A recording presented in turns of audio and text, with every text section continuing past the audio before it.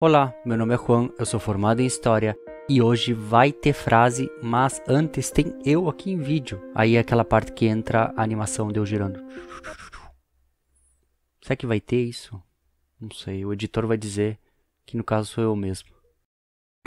Espero que o conhecimento nos ensine uma maior tolerância com formas de civilização diferentes da nossa. Franz Boas, 1911. Essa é a parte 2 do vídeo e obviamente eu recomendo que vocês assistam a parte 1. Lá eu explico por que eu não vou falar sobre o conflito. No primeiro vídeo eu mostro um pouco da aparência da Ucrânia, da questão da Crimeia, falo sobre a Ucrânia soviética, sobre a origem do povo russo e ucraniano, características gerais da Ucrânia, sobre o idioma e muitas outras coisas. Então confiram lá, tá legalzão, eu acho. Só que diferente do primeiro vídeo, começar falando sobre a ciência da Rússia e um pouquinho sobre a Ucrânia. E depois eu entro nas características gerais da Rússia. Por que não ao contrário? Não sei que a Rússia é bastante conhecido das pessoas, principalmente pelos memes, da vodka, dos ursos e da União Soviética. É bom reforçar que muitos russos reclamam desse estereótipo, do mesmo jeito que muitos brasileiros não gostam daquela associação do Brasil, samba, futebol, carnaval, também tem isso com os russos. Então, lembrem-se disso. Vamos conferir que tem muita coisa legal que eu trouxe aqui para vocês. Esse início, digamos, da ciência russa mais organizada é no Império Russo com o Pedro o Grande. Foi um imperador que eu cito lá no primeiro vídeo. Ele fez algumas reformas, ele digamos que ocidentalizou a Rússia e uma das coisas que ele fez foi isso, foi trazer essa ciência. Ele fundou a Academia de Ciências de São Petersburgo. Esse início do que eu chamo da ciência russa mais organizada já contava com alguns nomes importantes da ciência, como é o caso do matemático que nasceu na Suíça, mas também morou muito tempo na Rússia, que é o Leonard Euler, também com outra figura bem relevante da Rússia, que é o Mikhail Lomonosov, que foi aquele cientista chamado de polímata, que é aquele tipo de estudioso de vários campos, que é bem representado pelo Da Vinci. Eu acho que todo mundo lembra que o Da Vinci representa bem essa figura. Avançando um pouquinho no tempo, eu gosto de começar sempre por algo menos óbvio. Isso inclusive já é uma explicação de que cientistas eu seleciono para o vídeo. Vamos lá, a primeira pessoa. Começar com Sofia Kovalevskaya. E tem uma história muito interessante. Primeiro, a sua irmã era Ana Jaquilar, que era uma amiga do Karl Marx. É, essa galera vivia na mesma época. Então a, a Sofia tem essa ligação, assim, diretamente com uma pessoa muito influente do feminismo e também, obviamente, essa questão política. Não é isso que eu vou falar. Sobre a sua família, ela tinha sangue nobre, mas ela também tinha sangue do povo chamado de Roma ou Romani. Que povo é esse? É aqueles que a gente conhece popularmente como ciganos. Será que tem algum Roma me assistindo? Se você tiver, comente aí, eu acho que você vai ficar bem feliz de saber, caso você não soubesse, que esse personagem tão importante faça parte do seu povo, que é um povo que foi muito discriminado, ainda é hoje em dia, e muito perseguido em várias partes do mundo. Ela possivelmente foi a primeira mulher a receber um doutorado em matemática. Lembrando que estamos falando, assim como eu comentei no vídeo da Marie Curie, uma época muito difícil das mulheres estudarem. Além de não existirem incentivos, às vezes não era possível nem se a mulher quisesse. No caso da Sofia, ela teria que ter permissão do seu marido. Ela logo se casa, dizem que o casamento dela era de fachada com outro também cientista chamado Vladimir Kovalevskaya. A área de atuação dele era a paleontologia. E uma contribuição que ele fez, um foi acreditar nas ideias do Darwin, que na época obviamente não era uma pessoa consolidada, e ele também fez algo muito relevante que foi traduzir para o russo. Ele foi o primeiro a traduzir os escritos do Darwin para o russo, e isso na época tinha uma importância muito grande, já que estamos falando de outra época na questão das traduções. Mesmo com todas as dificuldades da época, a Sofia recebia um certo reconhecimento, pelo menos de alguns outros cientistas, como é o caso do Henri Poincaré, que é um dos físicos mais importantes, que reconheceu a importância do trabalho da Sofia, inclusive utilizou parte do seu trabalho para os seus estudos. Minha mãe tá cantarolando no fundo, tomara que não pegue no áudio.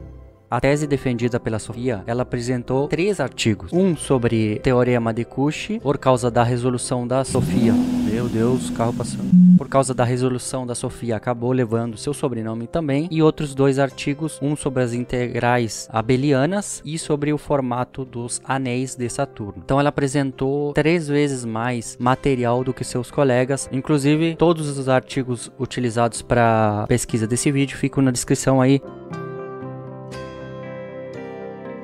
Eu gosto muito de citar essas figuras que se relacionam de alguma forma. E o que eu vou citar agora talvez seja um dos russos mais conhecidos da ciência, que é o Dmitry Mendeleev. Esse cara que fez a tabela periódica. Então, sim, se você odiava isso no colégio, culpe esse homem. Mentira, gente. A tabela é muito importante. Ele foi o que elaborou a primeira tabela periódica, coisa muito útil dentro da química porque justamente organiza os elementos, então é algo com extrema relevância e foi um russo. E esse russo tinha, tinha contato com a Sofia, que eu recém citei, e com a próxima citada, outra pessoa da química, que é a Julia Lermontova, que conheceu o Dmitri, que inclusive participou de alguns trabalhos com ele e também é a primeira mulher a receber um doutorado em química e tinha uma relação bem próxima com a Sofia. A Sofia ajuda muito que a Júlia consiga estudar. Como eu disse, era uma época bastante difícil. A Júlia vem de uma família que os pais faziam parte daqueles grupos intelectualizados, digamos. Então ela até teve essa questão intelectual, esse estudo. Talvez a contribuição mais importante da Júlia seja ter refinado os processos de separação dos metais do grupo da platina, que aí inclui vários metais. Isso foi muito importante para a montagem da tabela periódica, como eu citei, feita pelo Dimitri. O Dimitri não foi o único a pensar na tabela periódica. O mérito principal do Dimitri, quando ele fez a tabela, ele deixou alguns espaços vazios e deixou as propriedades daqueles elementos que seriam descobertos. Um dos dois elementos era galho e germânio. O próximo cientista que eu vou falar tem um aspecto bem interessante que é citado nessa questão do conflito. Entrando no aspecto do Nobel, para dar um exemplo, as quatro pessoas consideradas ucranianas que ganharam o Nobel, na verdade, todas elas nasceram em cidades que atualmente são da Ucrânia, porém nenhuma delas na época era Ucrânia. Então, dois era Polônia, o reino da Polônia, e dois eram o Império Russo. Aí fica no seu critério se considerar essas pessoas ucranianas ou não. Inclusive, o próximo da lista é um desses exemplos. O nome dele era Ili Mitchnikov. Ele nasceu em 1845 e morreu em 1916. Ele ganhou o prêmio de Nobel em 1908. Lembrando que eu tenho um vídeo sobre o Nobel, então vejam lá, tá bem legal o vídeo, mas vamos continuar aqui para não me perder. O prêmio dele foi dado em reconhecimento ao seu trabalho sobre a imunidade. Um dos seus aspectos mais importantes foi ele descreveu e nomeou o processo chamado de fagocitose. E o nome é bem legal, é o nome em referência a duas palavras gregas, que querem dizer comer, que é fagos, e célula. A fagocitose é um processo da qual a célula ingere partículas grandes. Então, né, um nomezinho bem legal, eu, gostei do nome. Ele tem umas curiosidades muito legais. É dito que ele sabia português. Ele conversou com Oswaldo Cruz em português. Ele viveu algum tempo na Ilha da Madeira. Teve dois casamentos. Uma, a esposa faleceu poucos anos após o casamento e a outra, ela acabou ficando doente. Tanto é que ele vai para a Ilha da Madeira por causa da saúde da sua esposa. O que eu li é que ele teria começado a pesquisar sobre a questão da imunidade por causa da saúde dessa sua segunda esposa, já que ele já tinha perdido a, a primeira para uma uma doença. Infelizmente eu não achei a fonte que confirme essa informação, porque seria genial, é muito digno de filme ou de novela, de cientista procurando uma cura para sua mulher doente. Seria muito legal, mas infelizmente eu não consegui achar uma fonte. E se alguém souber alguma fonte, pode deixar aí. Muito difícil, né? Que alguém saiba, porque isso é muito específico. Fica aí a esperança, né? Seria um orgulho para a nação romântica. E o período de maior destaque da Rússia no ponto de vista científico foi na época da União Soviética. E o momento ainda mais relevante é a questão da Guerra Fria. E pela disputa, os soviéticos eles começam na frente, primeiros a mandar o satélite e são os primeiros a mandar um homem para fora da Terra. Porém, os Estados Unidos eles acabam sendo o primeiro a pisar na Lua. Existe muita discussão de quem ganhou a corrida espacial. Em linhas gerais, a gente tende a pensar que foi os Estados Unidos, porém tem muito historiador que aponta a União Soviética como a vencedora, justamente por terem sido os primeiros, primeiros a chegar no espaço e os primeiros a lançar o satélite. A questão da Lua ficou muito difícil para a União Soviética na questão financeira financeira. Além de que os Estados Unidos, obviamente, correu atrás do prejuízo, digamos, né? Então tem essa discussão. Além dessas duas coisas que eu falei, uma muito importante é que a União Soviética foi primeiro a lançar uma estação espacial orbital, inclusive fazer testes científicos nela. E ela deu a origem à Estação Espacial Internacional, que é uma coisa muito relevante para a ciência, muito relevante para o avanço científico. Então esses três elementos que eu citei são os principais para dizer aí que a União Soviética ganhou. Então acho que é legal trazer esse lado, né? Muita gente não deve saber que existe essa interpretação. E aí deixa nos comentários, é voto popular agora. Quem, quem disser que ganhou, ganhou. Eu vou fazer assim. Imagina se a historiografia fosse assim, deu voto popular. Inclusive, eu acho que tem gente que pensa que é assim, já que opina muito sobre a história. Mas o vídeo é sobre a Rússia, então vou focar só neles. Vou tentar aqui resumir rapidamente a vida do Yuri Gagarin. Ele nasceu em 1934 e morreu em 1968. Onde que ele nasceu? Ele nasceu num povoado no interior da União Soviética, que inclusive tem tem a casa dele, vocês estão vendo a foto aí. A casa é uma réplica real e a história dele é bem intensa. Dois dos seus irmãos foram capturados e enviados para a Polônia para serem escravizados. Isso durante aquela invasão nazista que aconteceu. Então, só após 1945 os irmãos retornam a casa. Sobre o Yuri, ele começa a estudar em uma escola técnica de fundição e depois disso ele inicia, digamos, a sua vida em direção à astronomia. E o primeiro passo dele é entrar num clube de voo. Depois disso, ele vai para as áreas militares dentro da aeronáutica soviética e vai subindo nos cargos militares e quando se inicia o programa espacial, ele faz os testes